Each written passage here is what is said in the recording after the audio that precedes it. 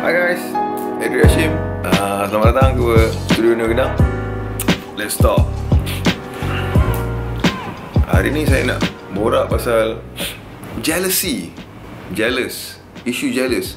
Musician Jealous-jealous dengan musician lain. Apa musician lain? Musician lain punya job. Oh dia ni dapat job Kita jealous.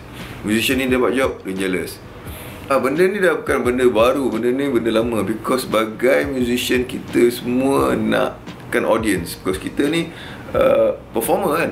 Bila performer ni Kita perlukan audience. Mana musician yang dapat banyak Lebih banyak Audience tu uh, Masalahnya macam dia main show TV dia main konsert besar dan Musician-musician ni uh, Ada yang Ada yang tak dapat peluang tu So dia orang jealous lah. Ada satu fenomena yang dah berlang, berlangsung agak berkurun-kurun lamanya bukan satu benda baru saya pun terus terang saya kadang pun ada juga jealous. Sebenarnya normal. Cuma kita uh, saya rasa kalau kita jealous patutnya benda tu menjadi pemangkin untuk kita jadi better betul tak? Kita nak oh, kalau kita jealous dia ni macam oh dia ni hebat dia ni kita mesti nak okey aku nak practice lagi aku nak jadi dahsyat lagi aku nak jadi buat lagu best-best aku nak solo best-best lagi untuk aku pula the spotlight tu pula akan datang kat aku. Jealous yang tak bagusnya tu bila jealous kita mengutuk pula dia tu. Eh lah dia tu dia ni kawan dengan ni. Eh lah dia tu kenal dengan dia ni. Eh lah dia tu ni bawa, bawa apa bayar dia tu bayar dia ni. Ah benda tu tak okey. Benda tu saya dah lalui. Tengok kawan-kawan saya ramai sangat macam tu. Kan? Kalau jealous takkan okey aku jealous dan tapi aku nak jadi lebih baik daripada kau. Okey because dia akan improve kan diri tapi kalau jealous kau akan silang dia. Kau akan potong jalan dia kau akan burukkan dia kau akan kata macam-macam belakang dia. Kau nak tak nak kawan dia kau akan boycott dia. Dan benda tu adalah satu jealousy yang negatif dan amat dimurkai oleh Allah Subhanahu Taala. Kan dia punya ustaz. Saya bagi contoh lah. Saya dulu pernah buat satu talk Dekat uh, dekat uh, Balai Seni Negara. Satu soalan telah diacukan kepada saya. Diacukan? Diajukan kepada saya. Abang macam mana abang handle? Jealousy orang. Ni kutuk saya Kata saya macam-macam bang. Dia ni kata buruk saya. Ada orang sailang jalan saya Macam mana nak lalui itu? Dan saya ingat saya ada lukis satu satu gambar raja yang senang. Because saya nak explain benda ni susah. Because benda ni is very sensitive dan musician ni dia orang ni uh, apa pengkarya-pengkarya performer-performer dan jiwa dia sangat uh, sensitif. Masih soalan tu diajukan kepada saya saya telah melukis satu gambar raja yang ya saya rasa uh, semua orang boleh faham. Saya akan try tu recreate gambar raja tu kejap lagi supaya korang semua pula boleh faham. Meh?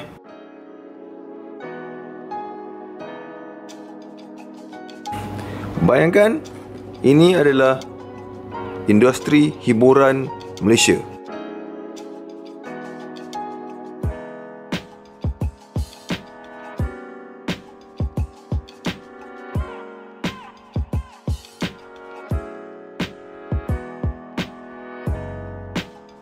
Semuanya perlukan muzik. Semuanya ada muzik, betul tak? Filem perlukan muzik, Konsert perlukan Of course perlukan muzik Radio lagi lah perlukan muzik TV pun perlukan muzik So Tapi kat dalam TV ni Ada satu. Kat sini lah. Backing band. So you bayangkan Dekat dalam Sini lah. Yang kecil ni lah. Semua musician membunuh-bunuh bersailang mengatakan dia ni tak bagus mengutuk-ngutuk membunuh-bunuhan berputus kawan segala-galanya bergaduh kepada bertelengkar membunuh-bunuh sebabkan untuk industri yang kecil ni je. Dan semua industri filem ni semua orang kat sini memandang musician yang ada kat dalam ni. Bergaduh-gaduh, berbunuh-bunuh, memburuk-burukkan orang Mendengki, hianat Semua dekat sini Bayangkan betapa kecilnya je. Berbandingkan dengan hiburan yang ada.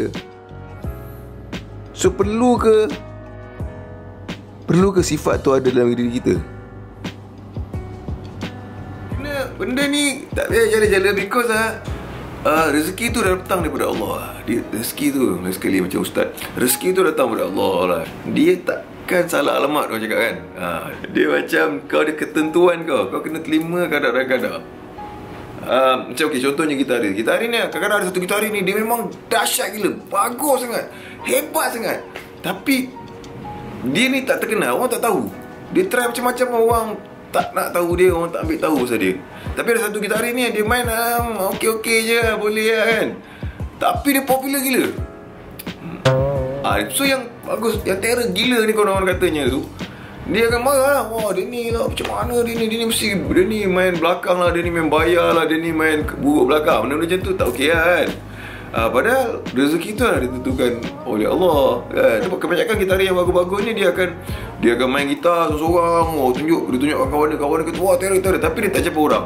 Macam mana dia kena keluar, you kena campur orang. Dia bila you campur orang, you baik dengan orang Orang akan nak bekerja sama dengan you. Because you kena tahu you First kali, orang tak nak bekerja dengan asshole lah.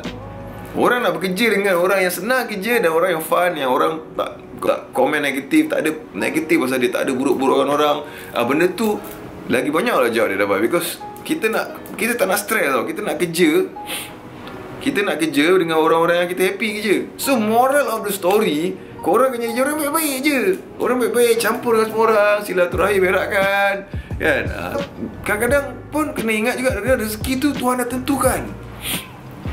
Bagi contoh Kadang-kadang rezeki kamu bukan di TV Rezeki kamu maybe di club. Tapi pemuzik club ni nak sangat pergi ke TV Padahal patutnya kau kat club tu kau kena buat sesuatu Yang membuatkan orang-orang TV ni pula nak masuk club You know what I mean? Make sense? You buatlah sesuatu yang hebat sangat Supaya Orang-orang TV ni pula kata Eh aku nak main macam sama macam dia ni lah. Wah dia dahsyat dia ni. Ha, So dia ni pula nak pergi masuk sini. Semua ada rezeki lah. Semua ada pentas masing-masing. Ha, Saya rasa tak perlu jalan-jalan ni. Jalan-jalan ni dah terlampau Terlampau uh, lama di, Dalam uh, senario Pemuzik kita lah. Bagi saya sangat menyedihkan kadang-kadang. Kadang-kadang kawan bergaduh kawan. Kan?